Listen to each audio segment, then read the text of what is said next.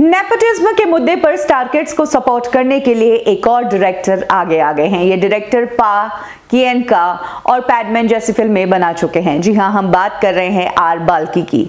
Are Balki ने हाल ही में interview दिया जिसमें उन्होंने कहा कि इंडस्ट्री में नेपोटिज्म के बारे में बात करना ही बेकार है और नेपोटिज्म जैसा शब्द आलिया भट्ट और रणबीर कपूर जैसे एक्टर्स के लिए बहुत ही हार्मफुल है, क्योंकि इनसे बेहतर एक्टर्स इस इंडस्ट्री में नहीं है।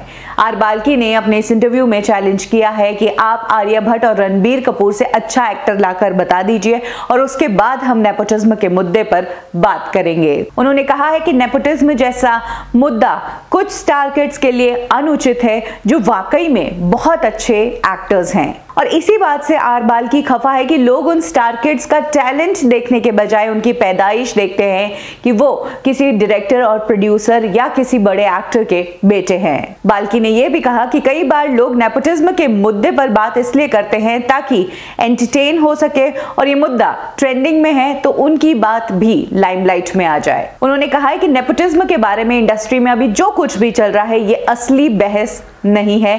असली मुद्दे पर तो कोई बात ही नहीं कर रहा है। आर बाल्की ने अपने इस इंटरव्यू में कंगना रनौत, शेखर सुमन जैसे एक्टर्स की तरफ़ इशारा करते हुए कहा है कि कुछ एक्टर्स हैं जो अपनी प्रॉब्लम्स के चलते नेपोटिज्म और इस तरह के शब्दों का प्रयोग करते हैं, लेकिन ये गलत है। और इस पूरे नेपोटिज्म के बारे में उन्होंने तर्क देते हुए कहा है कि मुझे नहीं लगता है कि अंबानी का बिज़नेस मुकेश अंबानी के अलावा किसी और को संभालना चाहिए। हर एक डिपार्टमेंट में यही होता है कि जो बिज़नेस होता है, जो बिजनेसमैन होता है, आगे चलकर उसी का बेटा या उसी के बच्चे उस बिज़नेस को संभालते हैं, भले ही वो अंबानी की बात की जाए या फिर किसी सब्ज़ी वाले की बात की जाए। इसीलिए आर बाल्की का कहना है कि नेपोटिज्म पर बात करना और नेपोटिज्म को लेकर इतनी बड़ी प्रॉब्लम्स क्रिएट करना, ये बिल्कुल वेस्ट ऑफ़ टाइम टाइम है, हम एक स्वतंत्र भारत में रहते हैं और यहाँ पर सबको फ्रीडम है अपने हिसाब से ज़िंदगी जीने का।